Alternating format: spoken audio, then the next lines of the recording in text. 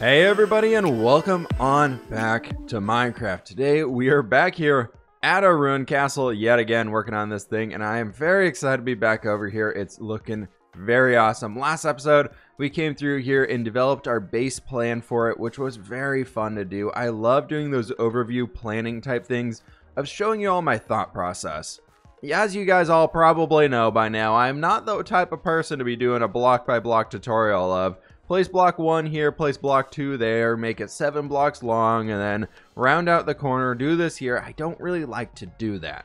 Mostly because I don't really know how to do that. Because I don't really think about that, that type of stuff when I'm building. I just kind of do things. But anyways, in today's episode, I want to take this another step further. As we started to develop out this bridge over here and get a loose shape and design for it, it was leading over to this hill which I think this would be a perfect thing for today's episode that we could work on and make some progress on. And my goal is that we can get this entire side over here and our bridgeway finished up. I've been spending a bit of time on the bridge already, adding in some detail bits and seeing what I could do to make it a lot more interesting. So this is what we were looking at last episode. That's all it was right there. And this is what I've kind of decided to move forward with.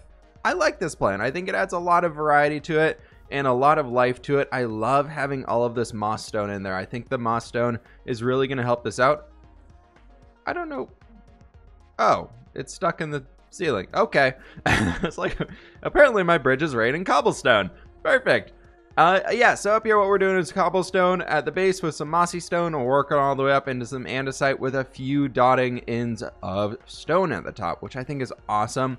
I think it's going to go very, very well together. I do want to completely redo this top part. I like that little curve shape that we have there, but I think it's a little skinny, and I don't think it's decorative enough. So I'm going to spend a good chunk of time here figuring out how we can make those things more interesting.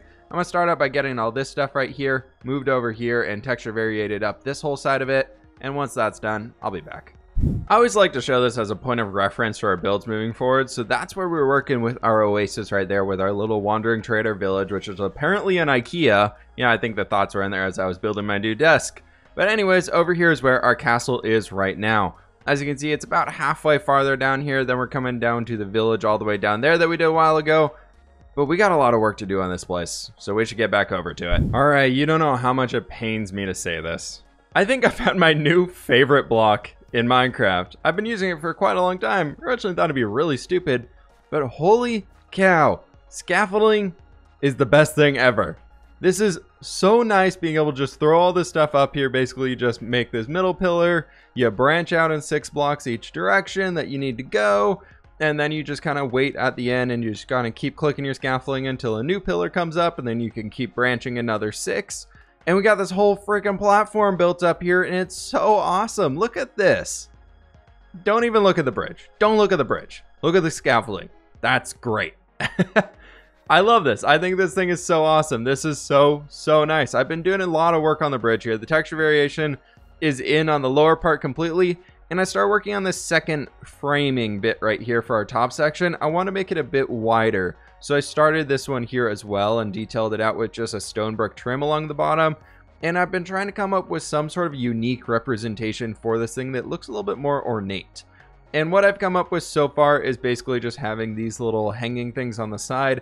I don't plan to use wood very much in the build because I think they would take away from the ruined look of making this look super ancient the wood wouldn't have a way of lasting that long. And I'm going to get this done on the other side, and then we're going to have to figure out what we're doing at this top bit here to make that smoothed out and look nice. I think, honestly, it might be something really similar to this pattern that we have here, just flipped the other way, and it could work really well, but I'm also really liking iron bars being built into this more. Internet is back. I'm ready to go. We got the actual skin back on, and it's so nice. it's been a while since we last talked. I was I had to go through another work day here and, you know, doing the whole pre-recording thing, trying to get everything out to y'all. But yeah, I've been doing quite a bit of work. All of these bits are finished up on the front side and the back side. I like that design we're going with there. I think it's a good one. I've been starting to mess around with what could be up here at the top as well.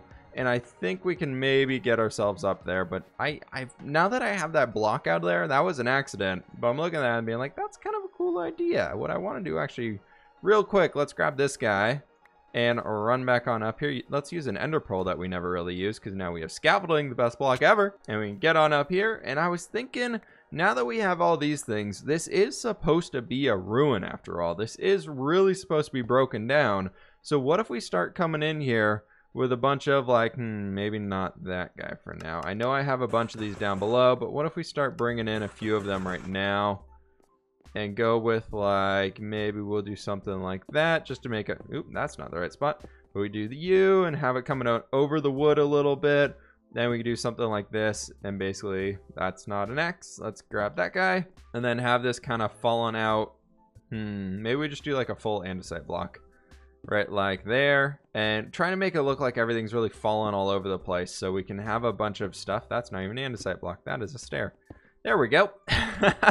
I am all over the place here, but I was thinking some rambling thing like this where we have these top decorated bits that have kind of the stairs going the all the which ways different stuff like that. So it basically is bam and bam and then there and there. And that gives us this little curve pattern like that which I think is going to be really good.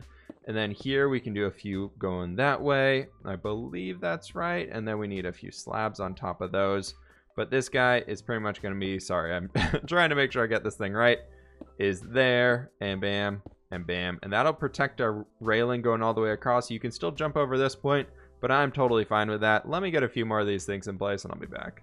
The top of our bridge is now done. All the texture variation is in on the bridge as well. I'm really happy with it. I've been messing around quite a bit with adding some extra details under here so it feels a lot more alive currently without adding in too much of the nature, which I do want to add in later today.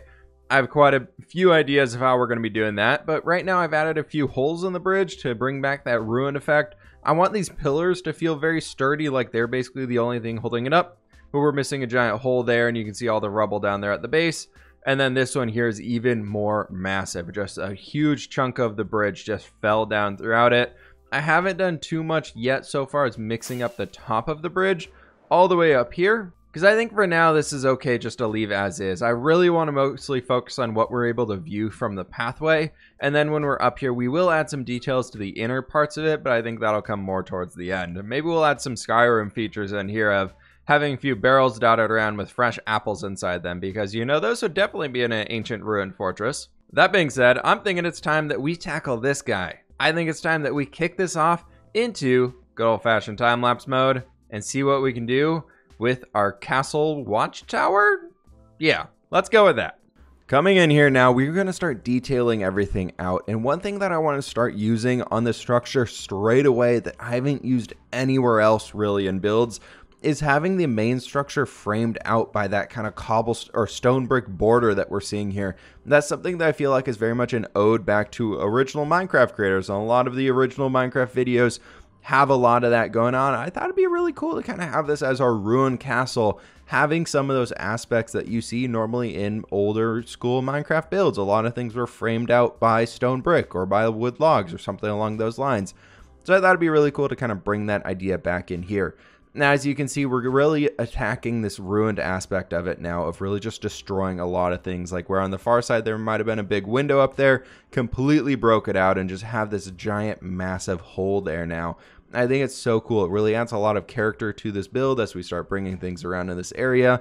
The outside structure is very much torn apart. There's not really anything left of the wall on that besides a really, really low down wall area and one thing that I really wanted to start tackling and figuring out here is this tower that we're going to be starting to do here very, very shortly.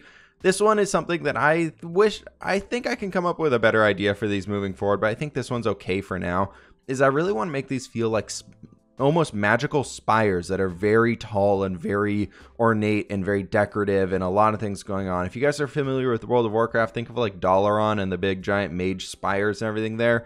That's kind of something that I was hoping to get that idea across. I think starting with that 3x3 circle at the bottom gave a lot of issues with it. So I might need to go in a creative test world and come up with a few more designs, but for now it's a good rough design. What we're doing now, though, is starting out the terraforming and starting out the landscape transformation down below. I wanted to bring in a bunch of different aspects from birch leaves to a bunch of ferns and grass and actually some berry bushes because I feel like we're headed down to that sweet berry village, so we might as well create some of that here. I'm up here in a ruin keep and adding in a few more extra details, adding some vines and more bushes around this area, and it's really, really starting to come together. I think if we give it a while for everything here to grow in. All right, nailed it. I think if we give it a while for all of this stuff to grow up in here, I really don't mind if these vines go absolutely crazy and get everywhere because, you know, it is supposed to be very overgrown. So that's going to work out really well for us, but it's starting to look so sweet. Check this thing out. From the ground level, I think it looks even better than when we were looking at it through the time lapse. I think this one's absolutely awesome. It's so great. The detail we have down below, I decided to use a lot of birch leaves around here because I think they'll maintain the color pretty well going across this entire area. And it's looking, it's pretty sweet. I like this one a lot. Next thing I did want to move into though was building up a few more trees and nailing down our lower ground detail areas. I thought it'd be cool if we brought in some spruce leaves, and I don't really, they're not supposed to be too big of trees, so I didn't want to bring in any full blocks. We're just going to use some fences as kind of like the leaf structures for themselves. But I was thinking like a few trees just dotted it around, especially down in this area. For some reason, when looking at this right here, I just need a tree right over here. So we take this guy and bring it up. I'm thinking like seven blocks. We'll go one, two, three, four, five, six, and seven. And then bring you up another two or three. We'll do like that. And then we can do, this is supposed to be, eh, we'll only do two on that top one. So this is going to be pretty wispy. I do want to have it sticking out a little bit more, but I don't want this to be too crazy thickened up or anything like that. So it's okay that it's going to be a little weird. We're just going to make this thing up as we go here. Uh, let's do something like you, and then maybe one at there. And, and that's kind of a mess of leaves right now. I think we might want to take a few of these things away, but it's it's the general idea is here what I want to. I think I just added way too many leaves in there. What if we do something like that? That's okay. It still feels a little weird down here at the base, but I, that's okay. Trees aren't supposed to be perfect. That's something I've been trying to tell you all here for quite a while now is that you can you can have trees that look a little weird. It's it's totally fine. In the grand scheme of thing, if a tree looks a little weird, just say it's a little deformed and it's fine. They don't be looking perfect. So something like that will be over here. I think we might want to have less of this base part showing and have more of the tree come down to the bottom moving forward. So that can be one of our taller ones. But I was thinking that just frames out the bridge here really nicely. Like back in this area. Like that just frames out this whole thing so, so nicely. So I'm to come through and add in a few more trees dotted around this area. Adding some more of that detail bit with some of our birch leaves and everything down at the base. That's what we could do to hide this. That's why I was looking weird is because there's nothing really down here. Okay, now I now I got it. We're good. We're good. I've added a few more trees around here and it really got me thinking on something. I've been seeing a lot of other people playing around the the idea of doing this. But instead of leaving like the end stone wall or some other type of dumb wall that we would never really work with, what do you guys think about changing that into like a wooden log wall? So we could do like an oak log with the wall block model. So it's not like super crazy or anything, but it's just very simple. But it's like another type of a branch that we could use to build out custom trees and make them a little bit thicker. What do you guys think about that? I'm I'm I'm kind of torn. Let me know if that's be something you guys be interested in seeing. Another thing I wanted to note while we're building up a few more of these guys is if you look at how much detail we have in the grassy plains area and the hills, we have berry bushes, we got ferns, we got grass, we got tall grass, we've got birch leaves and we've got vines on top of the building. And not to mention how crazy mixed up our ruined structure of the building is. The way we make this look so much more chaotic and hectic is by on our stone cliff faces themselves like these we leave it as simply stone. So it's one material instead of having a bunch of mixed up stuff in there as well it makes the rest of this feel way more chaotic. So when you're trying to build something, leave some parts that are less detailed and it'll make the crazy detailed parts look even more detailed. And there we go. I gotta say, this place is looking really awesome. I'm super happy with it. I decided to bring in a bunch of our lilacs and also a bunch of the allium retexture that we did with this little shorter lilac basically to make it a much more usable flower. We don't need lollipops standing around the area at all. And it's looking so great. This is, I'm really, really happy with this. Like if you take, if we take an Elytra flight up here, do a good old Mumbo Jumbo spin around, and come and look at it from above, like you'd see I'm mostly focused on that strip and a few things over there, but it's really starting to come together. And as you get down here and fly through the area, it's so cool. I'm really happy with this one. I do want to come in here, and I'll do it probably here in just a quick sec and adding in another one or two spruce trees right in there and maybe one more of them right over in this guy so maybe we'll throw like this guy right here and then we can come up here and throw another one right there and a last one right in there and i think that'll be good for all of those we didn't need too many of them But right now, this side of the bridge just has none, and I feel like it doesn't really complete it off very well. So I want to just add a few of them over in this area. But I think overall, that's probably going to have to do it for today's episode. I am a little far behind on trying to get everything pre recorded for when I'm out of town for the next bit. So thank you all so much for watching today's episode. Please hit that like button if you did enjoy, subscribe if you're new, and I will catch you on the flip side.